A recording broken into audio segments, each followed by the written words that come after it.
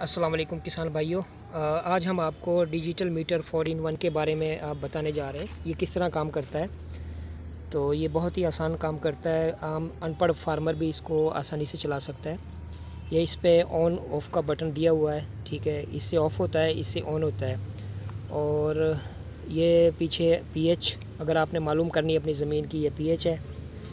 तो अगर आपने नमी, रोशनी और टम्परेचर ज़मीन का मालूम करना है, इस तरफ़ ये इसको कर दें। ठीक है, ये बहुत ही आसान है। चलें, अब हम इसको ऑन करते हैं। ये जी ऑन हो गया है, ठीक है।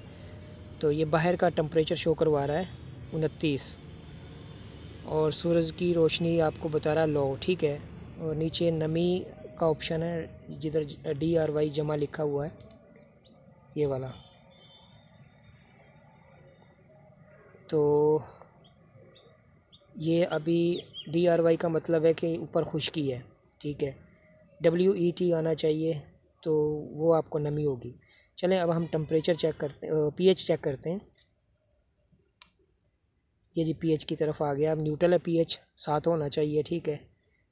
इस पर ऑप्शन दिया हुआ है कि ज़मीन का पी एच सात हो तो ज़मीन का लेवल ठीक होता है। अब हमें इसे ज़मीन में गाड़ते हैं।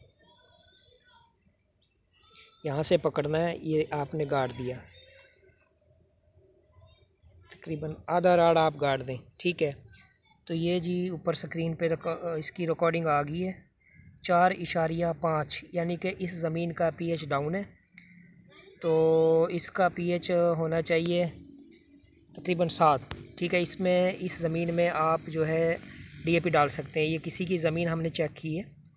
तो ये इसका पीएच डाउन है। कम है। इसका जबकि साढ़े छः या सात पीएच लेवल होना चाहिए। तो डीएपी खाद जो हमारी होती है, उसका पीएच आठ के करीब होता है। तो डीएपी इसमें यूज़ करनी चाहिए। अगर पीएच आठ, साढ़े सात है आपका तो आठ है तो फिर तो डीएपी नहीं डालनी चाहिए। फिर कुछ खादें होती हैं जिनका पीएच तीन या चार के करीब होता है, उसको आप यूज़ कर सकते हैं। चलें जी, ये तो हो गया पीएच, ठीक है। अब इसको हम बाहर निकालते हैं। ये जी न्यूट्रल हो गया है सात पे आ गया, ठीक है, ये निकल गया बाहर।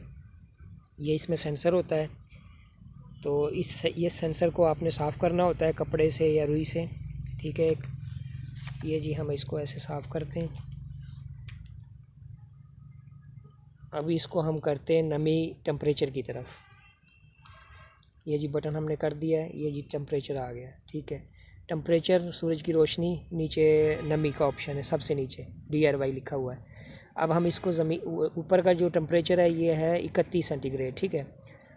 बाहर, अभी हमने नमी चेक करनी है तो इसको हम गाड़ते हैं ज़मीन में। हमारी कितनी नमी है, पानी की ज़रूरत है कि नहीं फ़सल को? तो ये देखें जी, ये ड्राई का ऑप्शन है। अब यहाँ पे डब्ल्यू ई टी आ जाएगा, जैसे ही हम इसको नीचे दाखिल करेंगे। ये जी मैंने नीचे गाड़ दिया है, इसमें कोई बटन नहीं छेड़ा। अब देखते हैं नमी को। ये देखें जी डब्ल्यू सबसे नीचे देखें। डब्ल्यू ई टी लिखा आ गया है, यानी कि इस ज़मीन में नमी है, अभी पानी की खुश्की नहीं है। ये रोशनी की वजह से जो है ना, सही नज़र नहीं आ रहा।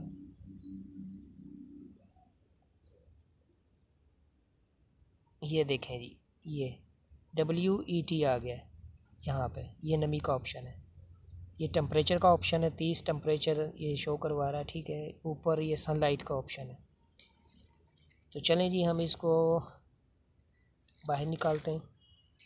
अब यहाँ पे क्या लिखा आ रहा है? नमी वाली जगह को आप चेक करें। डी आर वाई आ गया, ये देखें, नीचे। डी आर वाई ठीक है।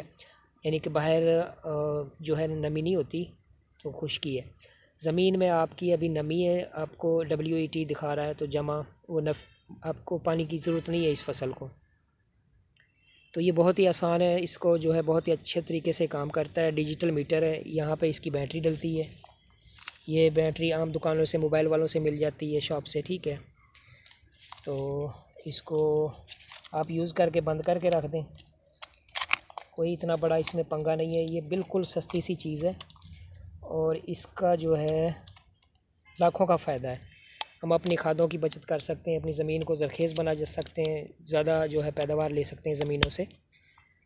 आप माहरीन से पता कर सकते हैं कि पीएच को मालूम करके अगर ज़मीन को जरखेज़ बनाया जा सकता है, ज़मीन से ज़्यादा पैदावार हासिल की जा सकती है, खादों की बचत की जा सकती है।